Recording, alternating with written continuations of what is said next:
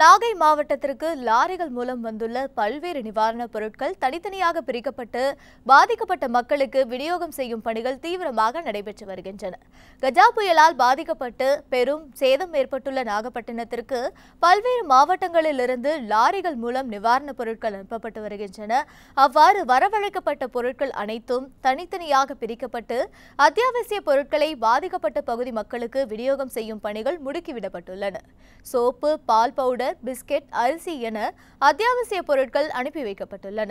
இதுவரை நூற்றுக்கும் மேற்பட்ட லாரிகளிலிருந்து கோயம்புத்தூர் உள்ளிட்ட பல்வேறு மாவட்டங்களிலிருந்தும் நிவாரணப் பொருட்கள் வந்துள்ளன. பார்த்தீங்கன்னா கிட்டத்தட்ட கோயம்புத்தூர்லேருந்து இன்னைக்கு அதாவது டோட்டலாக பார்த்தீங்கன்னா இன்றைக்கி வரைக்கும் பார்த்தீங்கன்னா ஒரு நூறு லாரி பக்கத்தால் வந்திருக்குது.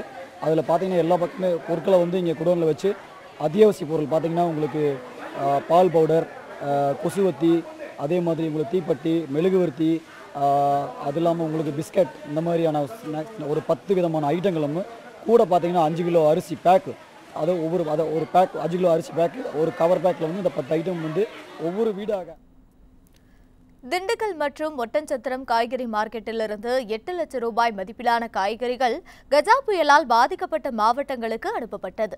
திண்டுக்கல் காந்தி மார்க்கெட் மற்றும் ஒட்டஞ்சத்திரம் மார்க்கெட் வியாபாரிகளிடம் பெற்ற வெங்காயம் வெண்டைக்காய் முட்டைக்கோஸ் பீட்ரூட் உள்ளிட்ட பதினாறு டன் காய்கறி ஏற்றிய லாரியை மாவட்ட ஆட்சியர் வினய் கொடியசைத்து அனுப்பி வைத்தார்.